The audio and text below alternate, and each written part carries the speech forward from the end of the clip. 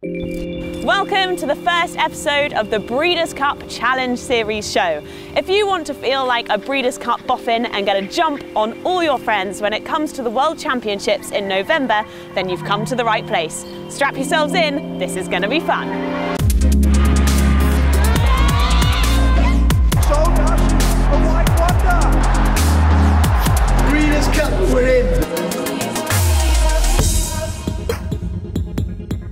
My name is Rosie Tapner and I'm here at the Fairmont Windsor Park where a certain famous jockey who goes by the name of Frankie Dettori stayed during Royal Ascot. Now I'm going to be keeping you up to date and in the loop with all the comings and goings of the Breeders' Cup Challenge Win and You're In. But I hear you say, what are the Breeders' Cup Challenge Win and You're In? Let me take you through that right now. Across the year, there are multiple races around the globe, 11 countries to be precise, which act as an opportunity for a free ticket to the Breeders' Cup World Championship at Keeneland in November.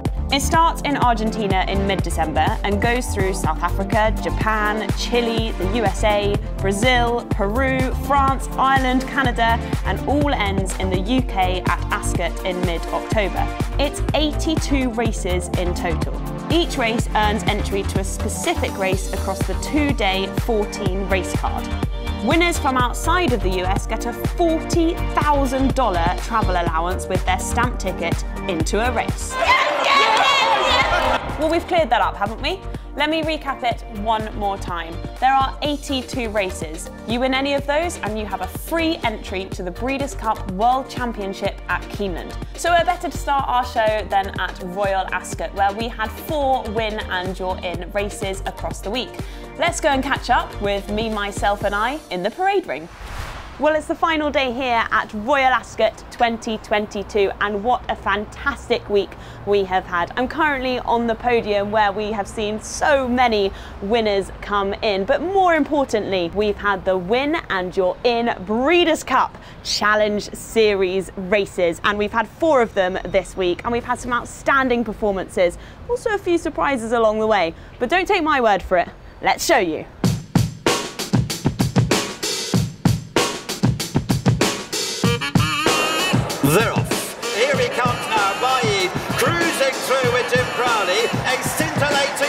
Scintillating winner. Baaeed is unbeaten. You ever go to the fun fair and you're waiting in the queue for a fast ride?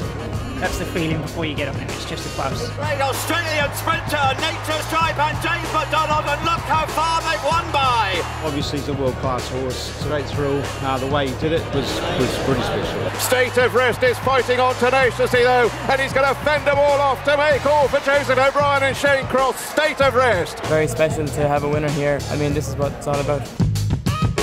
The Riddler just getting on top, close to the finish, and the Riddler and Paul Hanagan go on to win the Norfolk. To actually do something like that today is unbelievable. I think he's ideal for American racing.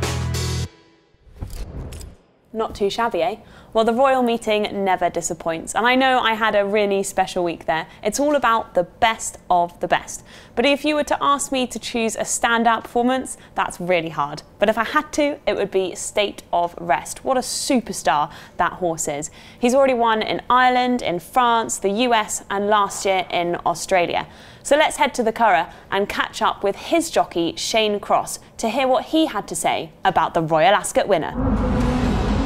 I think my whole career I haven't witnessed anything like it. Looking at it on paper, there was no key front runner. State of Rest is fighting on tenaciously though, and he's going to fend them all off. What a buzz to be riding at Ascot and, and, and to steer home a winner was, was to top it off.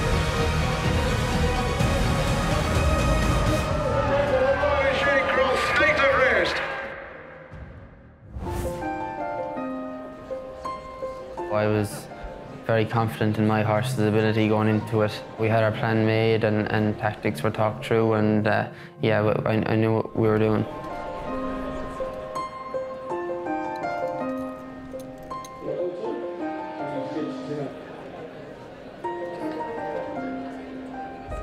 Lord North moves in to complete the line. I was keen to get to the front here, so I needed a good break, and uh, you know he was brilliant. I've just laid up his neck, let him stretch for for long, just to make sure I get to the front. Um, and, and he's done it very quickly and, and without using too much energy, which is brilliant. I've everyone strung out behind me, so they're comfortable where they are at this moment of the race. And uh, now I'm just keen on getting state of rest back underneath me, relaxed, and just trying to save as much energy as I can at this point of the race. Halfway, five furlongs, a thousand metres still to go. We're just about to come towards the four now and I, have saved a lot of energy throughout the race and I'm just about to leave him, just go up a gear and I just don't want the field surrounding me for home and making me go before I need to. We've swung in now, there's about two and a half to race and I'm just going through the gears. Ryan is beginning to challenge but my guy is, he's a superstar. He's absolutely doing 100% and at this point in time, you know, he's going to win the, the Prince of Wales and, and he has, so no, it was brilliant.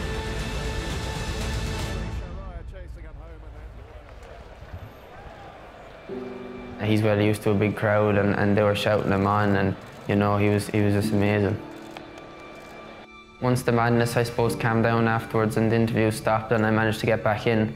Um, first of all you have the Ryan Moores and the Frankie Dettoris and you know they're coming up shaking your hand and saying well done and it's a bit surreal and um, I finally got to sit down and, and just pick up my phone even and you see the well done's coming through and uh, you get to take it all in and it's, you know, I was taking it in for the whole week afterwards. It was just, it was a ridiculous day and uh, no, it's just amazing. Now, listen, I don't want to suggest that it was unexpected, but we were treated to the most almighty surprise at Royal Ascot in the Norfolk Stakes when the Riddler took the field by storm and flew home to secure his free entry to the Breeders' Cup. But it's not just about the horse, it's also about the owners, and these guys are so passionate. Let's go and catch up with them. It could be Wesley Ward, look out, we're coming then, is it? You buy mares, you breed horses, you think they're good enough, they fall off the wayside. To get a horse here is hard enough. To actually do something like that today is unbelievable. Inside the last furlong, and the Riddler over on the far side. Brave Nation is finishing strongly. Wallbank is still in the thick of it. The three of them come together here. The Riddler just getting on top, close to the finish. And the Riddler and Paul Hanagan go on to win the Norfolk. Well, it's always meant a lot to us. As a family, we've been coming for 20 odd years in the Royal Enclosure. I lost my wife seven years ago and your life dynamics change then. I mean, Lee, his sister, my other son, absolutely brilliant. And we've done our Wolverhamptons on a Monday night when it's pouring down the rain. We've done Southall when the wind's coming in off the Urals. You know, we go watch all the horses wherever they're racing. So to get something like this is just, you know, we often dream of this. And, you know. Yeah, lots of people have said here that this is the Olympics of European racing. And I suppose what we've done is we've won a heat in the Olympics or we got a gold medal, but now we need to go for the World Championships. And if that's a Breeders' Cup, that's a Breeders' Cup. Breeders' Cup, we're in. We're coming across and we'll be in it to win it. The raw excitement and passion of winning in this sport is really second to none. You just can't beat it. And a man that knows all about winning is trainer Dermot Weld when his superstar filly, Tarnawa, won the Breeders' Cup Turf back in 2020. Should we go and hear from him? Go on then. The build up to the 2020 Breeders' Cup was very challenging. We had the problems with COVID, uh, we had the problems with transportation of the filly, and uh, it was a, a major challenge to get there in one piece. I knew Colin to be the top class rider that he is. He has great confidence. He rides a very relaxed sort of race and he would suit the filly perfectly. Off in the Longines Breeders' Cup turf. And Channel Channelmaker is sent out to the early lead. She was never a quick breaker from the stalls and um, she was about where I expect her to be, third last, uh, but had plenty of room, and wasn't tight on the inside. And they're being followed by Medea and Lord North to the outside. Break of another two lengths more to Tarnawa, Gonya, and Mogul on uh, Most people might be a little bit concerned because she would too far back, but that was the plan, was to get her to relax and um, come from off the pace. Magical was the big concern because she was very brilliant filly and I was just concerned that we might be a little bit further back but Colin had magical fully in his sights, and for that reason, I was comfortable. Mogul is in behind them, waiting for a way through. Mogul now six and a half behind and being asked to go, and Channel Maker kicks away. Yes, I had a concern about being too wide off the home turn, but we were able to get momentum off it to carry forward. But uh, yes, this was the first time I'd become concerned. Channel Maker reaching for the wire. Here comes Tarnawa, storming down the center of the course to take the lead. And Tarnawa, the filly, has won the turf. Jubilation would be the first word to come to mind, and uh, I'll stay with that word.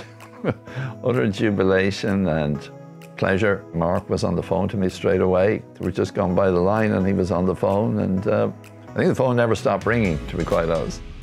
Uh, so it was one of those great evenings. She has followed the footsteps of great fillies like Enable and Found, and uh, she deserves it because she was a great filly. She was the high, joint highest rated filly in the world and the joint highest older rated filly in the world.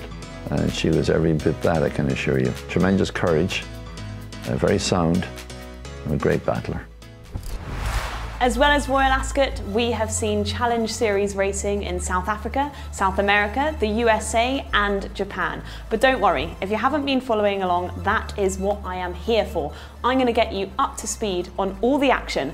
Let's go and have a look at who's already secured their place on a plane to Kentucky again. Irad Ortiz Jr. putting on a show today as Count again streaked home in the Shoemaker Mile. Flightline is in full flight. He had a slow start, but a terrific finish in the Grade 1 Met Mile. Here comes Clairiere on the outside. They're coming to the finish, and it's going to be Clairiere. It is True Valor. Arrest Me Red. Casa Creed on the outside. They're coming on for the finish. Casa Creed wins again. Serifos and Songline. Songline and Celios. Songline, Celios. Late is Schnell Meister. And it's Songline. He has the lead at the moment. Nothing really coming. It will be Cafe Pharoah going back to back. Sodashi, the white wonder. Sodashi is going to go on and score in the Victoria Mile. Sodashi wins out from Rosa Noir till in front. Its Titleholder, Ishikwazu, goes to second and Deep Bond in for third. Titleholder is going to go on and win. 100 yards to go. Olympiad with those powerful strides flourishes in the Foster. But with an eighth of a mile to go, she's back in South Florida and on her way back to the Breeders' Cup. Here's Cece Impress. So let's see where we are so far. Starting with the FanDuel Mile, where we have unbeaten Baaeed entered in, as well as Japan's Songline and South Africa's Jet Dark. The Breeders' Cup Turf, as well as State of Rest, we have the Takarazuka Kinen winner, Titleholder, who won very impressively in Japan. The Filly and Mares Turf was last year won by Japan's Loves Only You. Can they make it two in a row with Sodashi? Well, it would be wrong of us not to mention the Breeders' Cup Classic. Only two horses have qualified through the Challenge Series so far. From Japan, Cafe Pharoah, whose dad, American Pharoah, won the Classic, has an entry. And Olympiad qualified by making it five wins from five starts in the Stephen Foster Stakes at Churchill Downs. So now I've got you hooked on the Breeders' Cup Challenge Series, you are going to want to know what to watch out for in the next month. Well, fear not, we have lots of win and you're in races, not only here in the UK, but across the pond stateside too. A few to watch out for are the Haskell at Monmouth Park, the King George here at Ascot, the Sussex Stakes run at Glorious Goodwood, and the Bing Crosby at Del Mar. You can find the full comprehensive list at breederscup.com forward slash challenge, where you'll find all the information that you need. But also, come back here this time next month where I will be at Glorious Goodwood to fill you in on all the action. See you there. Goodbye. I don't really drink tea unless there's at least four or five sugars. Uh, well, that's our intro. anyway.